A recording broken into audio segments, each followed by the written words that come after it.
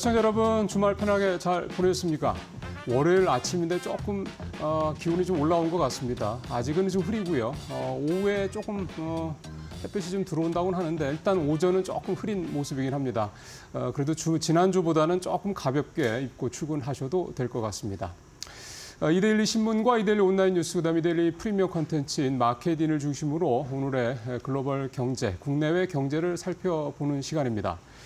어, 일단 오늘 월요일이기도 하고요. 어, 전체적으로 어, 시장에 대한 얘기를 좀 접근을 해봤을 때 현재 여러분들께서 생각하시는 가장 큰 시장의 변수 뭐라고 보십니까? 역시 지난주 금요일이었죠.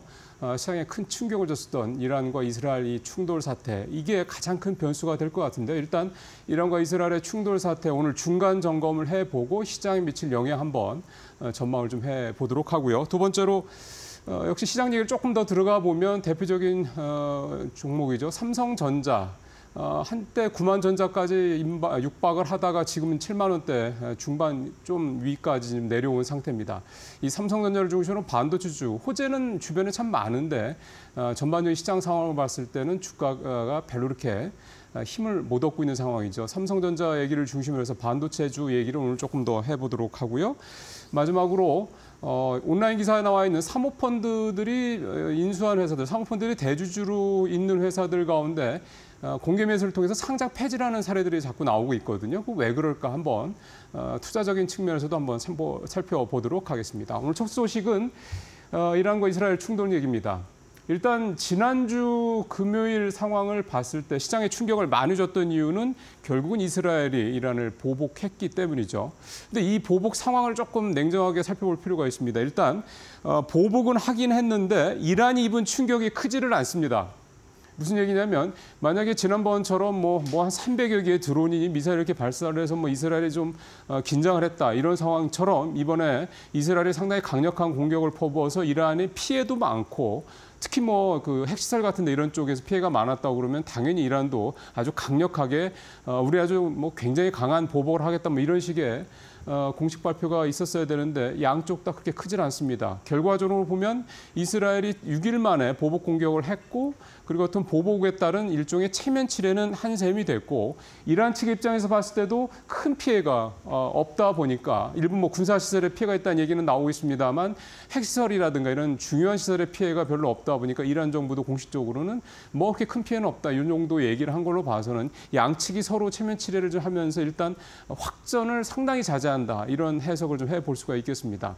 물론 일각에서 특히 월스트리트저널이 지난 주말에 나온 기사 내용 같은 걸좀 어, 인용을 하면 월스트리트저널은 어, 그래도 전면전 분위기가 여전히 있다, 가능성이 높다 이런 어, 해석을 내놓게 했는데 왜냐하면 어, 1979년 이후 45년 만에 처음 어, 이란이 이스라엘을 본토를 공격했다. 그동안에 중동 지역에서 본토 공격을 서로 자제한다라고 하는 일종의 불문율이 있었는데 이 불문율이 깨졌기 때문에 일단 벽이 없어졌으니 어, 당연히 언제든지 전면전이 발생할 수 있는 가능성을 전혀 배제할 수 없다. 아, 이런 해석도 있기는 합니다. 근데 현재 상황은 어, 양쪽 다 뭐 전면전으로 또 굉장히 서로 공격 강도를 높이는 부분에 대한 거는 상당히 부담을 갖고 있다라는 거를 어, 재차 확인을 할 수가 있고요.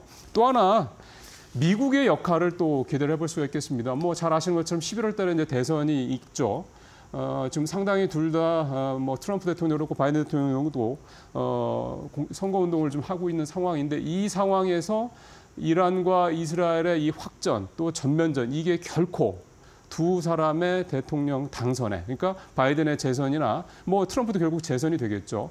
도움이 되지 않을 것이라는데 이해관계가 서로 좀 맞차 있다라고 맞아 있다라고 좀 봐야 될 것 같습니다. 결국은 미국이 지난번에 이스라엘이 이란 공격했을 때 보복했을 때도 바로 네타냐후 총리한테 정, 어, 전화를 해서 어, 보복 공격 뭐 자제다 이렇게 얘기를 했던 것처럼 이 이란과 이스라엘의 충돌 문제는 또 미국이 상당히 브레이크 제동 역할을 할 수 있다 이런 부분들도 시장으로 봤을 때는 조금 더 어, 부정적이지 않은 조금 더 긍정적인 쪽에 가까운 쪽으로 어, 돌수 있겠다 이렇게 볼 수 있는데요. 일단 시장에서는 이란과 이스라엘의 충돌 사태가 전면적으로 확대만 되지 않는다면 일단 악재로서의 영향력은 상당히 좀 줄어들었다, 제한적이다 이렇게 보고 있습니다. 자 이제 이런 전제를 감안을 하고 시장 얘기로 조금 더 들어가 보겠습니다. 어, 삼성전자 얘기를 중심으로 이제 반도체 주 얘기를 좀 해볼까 하는데요. 삼성전자가 지난주에 좀 떨어졌죠. 그러면서 결국은 7만 원대 중반 조금 넘는 상태까지 떨어졌습니다. 아시다시피 어, 이달 초에 한참 분위기 좋을 때만 해도 삼성전자 주가가 8만 6천 원대를 장중에 넘어서면서 아 이제 드디어 이제 9만 전자 다시 가는구나 이런 기대감들 상당히 많았던 게 사실인데요. 또 그럴 만한 호재들도 많았습니다. 뭐 이미 저도 여러 번 말씀을 드렸습니다만 일단 반도체 특히 이제 메모리 반도체 실적들이 괜찮고 수요도 늘고 있고 그 다음에 이제 미국에서 이제 보조금 주겠다라는 얘기도 이제 사실 뭐 시간 문제만 남아 있었고 그러니까 여러 가지 호재들이 좀 많았고요. 또 환율이 좀 올라가는 부분들도 수출을 중심으로 하는 뭐 삼성전자한테는 뭐 호재가 됐다고 했으니까 이런 여러 가지 호재들이 많았는데 어, 결국 이런 호재들이 나온 지 불과 얼마 만에 뭐 한 1, 2주밖에 안 된 상태에서 이런 호재를 다 뒤엎어버리는 그런 악재, 이 찬물이 이란 이스라엘 충돌 사태로 인해서 어, 시장에 끼얹어졌다 이렇게 봐야 되고 그 충격파가 삼성전자도 피할 수 없는 상황이 됐다 이렇게 좀볼 어, 수밖에 없는 상황이 되는 건데요. 어, 지금 이, 삼, 이 반도체주, 삼성전자를 중심한 반도체주와 관련돼서는 크게 좀두 가지 상황을 좀 봐야 될 것 같습니다. 첫 번째는 일단 업황 분위기가 좋지 않다는 점이 분명히 있습니다. 아, 지난주에 나왔던 이 TSMC가 실적 얘기를 하면서 올해 전체적으로 성장률 전망치를 한 10%포인트 낮췄다라는 이 부분이 하나가 또 있겠고요. 또 하나는 어, 엔비디아가 지난주에 금요일 날 큰 폭으로 떨어졌죠. 앞서도 얘기가 나왔습니다만 이런 부분을 봤을 때 그동안에 주가가 좀 많이 오른 데 따른 뭐 꼭 국내 반도체주는 아니긴 합니다만은 그런 데 따른 부담감이 시장에 좀 작용을 하고 있다. 이런 좀 어, 내용들도 볼 수가 있겠습니다. 그러니까 전체적으로 글로벌 반도 시장이 공급 과잉이라든가 아, 이런 어떤 악재들의 부분이 있다. 이 부분이 하나가 있겠고요. 또 하나는 이제 우리 쪽으로 조금 더 접근해서 본다 그러면 실적이 괜찮을 것이다라는 부분은 분명히 호재다라는 부분을 지적을 할 수가 있겠습니다. 왜냐하면 일단 IT 기기 교체 주기가 도래한 것도 좀 있고 AI 어, 칩을 중심으로 시장의 패러다임이 바뀌고 있다는 점, 그 새로운 수요가 좀 나타나고 있다라는 점인 거죠. 그다음에 고환율에 따른 수혜 역할도 분명히 있을 거고요. 앞서 말씀드린 것처럼 이란과 이스라엘 충돌 사태가 전면적으로 가지 않을 가능성이 어쨌든 많이 있다. 이런 부분까지는 고려했을 때 결국은 국내 반도체주들에 대한 부분은 실적을 중심으로 접근을 해야 될 것이다. 예, 이번 주에 SK 하이닉스 실적 발표를 하는데 영업이익 1조 8천억을 넘어설 것이다. 이런 긍정 전망 나오고 있고요. 삼성전자는 이제 30일 날 발표를 하는데 역시 지난번 잠정 실적 발표 때 정도 수준으로 어, 실적이 좋을 것이다. 이런 전망들 나오고 있습니다. 인텔도 어, 우리 시간으로 26일 날 발표를 해요. 전체적으로 어, 실적들이 괜찮을 것이라는 데는 전망들이 좀 모아지고 있는 컨센서스가 모아지고 있는 상황이기 때문에 일단 반도체에 대한 투자 전략은 일단 장기적으로 긍정적으로 볼 수 있다. 다만 지금 상황에서 아직은 큰 변수, 즉 이란 이스라엘 충돌 사태가 어느 정도 좀 어, 가닥이 잡힐 때까지는 조금 더 보시는 건 어떨까? 좀 신중한 접근이 필요하지 않겠냐 이렇게 생각을 해 보겠습니다. 자, 이제 세 번째 기사로 가보겠습니다. 이데일리 온라인에 나올라 있는 기사인데요. 사모펀드에 팔린 기업이 주식시장을 떠나는 이유입니다. 최근에 그 글라스락으로 잘 알려진 회사죠. 락앤락. 이 락앤락이라는 회사는 어, 홍콩의 사모펀드인 어피니티 에쿼티 파트너스가 대주주인데요. 현재 1,300만 주의 공개 매수를 좀 추진을 하고 있습니다. 어, 30%를 인수를 해서 어, 다 사들인 뒤에 이제 상장 폐지를 하겠다라는 게 이제 사모펀드 대주주의 계획입니다. 어, 작년에는 그 여러분들 잘 아시는 오스템 임플란트라는 회사, 그 다음에 루트로닉이라는 이런 어, 의료기기 업체들도 어, 그 상장 폐지를 공개 매수를 상장 폐지를 하는 그런 사례가 있었죠. 자, 왜 사모펀드들이 보유 중인 이런 회사들도 다 괜찮은 회사들인데 이런 회사들을 어, 공개 매수를 상장을 폐지를 시킬까요?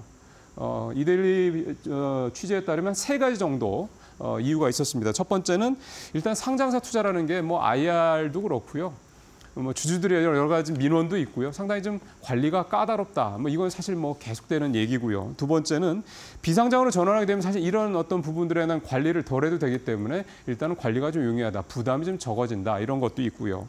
그다음에 이제 보통 이렇게 상장을 뭐 상장사를 이렇게 인수를 할 때 자기 돈만 가지고 하지 않습니까? 대부분 이제 자금을 어, 투자를 받거나 뭐 대출을 받거나 이렇게 되는데 이제 그에 따른 이제 시어머니 노릇을 하는 사람들이 생기다 보니 이런 것들에 대한 부담도 있다. 뭐 이런 점들 때문에 어, 공개 매수를 통해 상장을 폐지하는 사례, 뭐 그것도 가능한 얘기가 돼야지만 하겠습니다만 이런 경우가 많습니다. 규정상으로는 95%까지만 주식을 갖고 있으면 상장 폐지를 할 수가 있으니까 어, 앞서 말씀드린 라게나 같은 경우도 그런 식으로 좀 추진을 하고 있는 그런데요. 이 상장 폐지를 하는 경우에 대해서 이 투자적인 측면에서 어떻게 봐야 될까? 어, 한번 생각해 보시는 분들 많으실 것 같습니다. 크게 보면 두 가지로 어, 좀 구분을 해서 봐야 될 것 같습니다. 하나는 락앤락 같이 재무적으로 크게 문제가 없는 회사. 또 하나는 재무적으로 문제가 있는 회사. 재무적으로 문제가 있는 회사도 상장 폐지되는 경우가 많지 않습니까? 이렇게 두 개를 나눠서 봤을 때 재무적으로 문제가 없는 회사야 공개 매수 가격을 중심으로 해서 투자 전략을 짜면 은 뭐 사실 큰 무리는 없을 것 같긴 한데요. 재무적으로 문제가 있어서 상장 폐지가 나오는 회사들 같은 경우는 조심해야 될 건 분명할 것 같습니다. 사실은 투자를 해서 실익을 얻는다는 게 상당히 어려운 일이고요. 뭐 일각에서는 굉장히 발빠르게 매매를 할 경우에 뭐 짧은 기간에 굉장히 높은 수익을 얻을 수 있다 이렇게 얘기를 하는 건데 그거는 이제 그런 걸 잘 할 수 있는 사람들 얘기고 일반적인 투자자분들 입장에서 봤을 때는 상장 폐지 특히 재무적으로 안 좋아서 상장을 폐지하겠다라는 얘기가 나오는 회사들 같은 경우는 가급적이면 투자하겠다는 생각을 안 하시는 게 자제하시는 게 리스크를 줄이는데 더 도움이 되지 않겠냐 이렇게 생각이 좀 되네요. 어쨌든 온라인 사모펀드에 팔린 기업들이 증시를 떠나는 데 대한 배경을 좀 살펴봤습니다. 마지막으로 하나만 더 살펴보겠습니다. 이데일리 오늘 일면에 이제 사이드 톱으로 이제 나왔던 기사, 일면과 삼면에 걸쳐서 좀 어, 다루고 있는 기사인데 이 아파트 관리비 문제입니다. 이게 이데일리가 서울시로부터 자료를 받아서 조사를 해봤는데 분석을 해봤는데 아파트 비리가 표에서 보시는 것처럼 2021년 또 2023년까지 3년 내내 증가하고 있습니다. 이게 사실은 아파트 관리비 문제는 여러분께서 잘 아시겠지만 굉장히 오래된 얘기긴 한데요. 결국은 입주민들이 좀 더 적극적으로 관리를 하는 쪽으로 나가는 방법밖에 없다는 생각이 듭니다. 왜냐하면 워낙 많기 때문에 그런 건데요. 결국은 어, 입주민들이 조금 더 적극적으로 나서서 내 문제니까 어, 이 부분에 대해서 관리 또 감독, 견제 역할을 더 강화하는 게 결국은 이 아파트 관리 문제를 근본적으로 해결할 수 있는 방법이지 않겠냐 그런 생각이 듭니다. 자 오늘 뉴스 여기서 마치도록 하겠습니다. 고맙습니다.